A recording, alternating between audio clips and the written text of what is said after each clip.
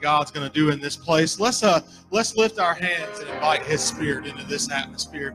God, we just thank you for giving us another opportunity to come into this house and worship your mighty name. Jesus, I pray that you just begin to cover these walls, dear Lord. Jesus, cover them with your anointing, cover them with your spirit, dear God.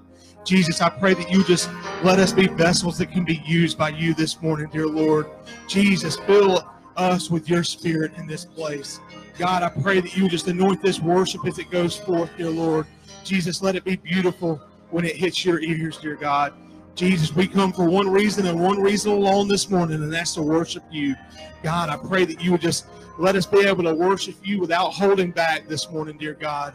Jesus, I just thank you for what you're going to do in this place this morning. In Jesus' name we pray. Amen.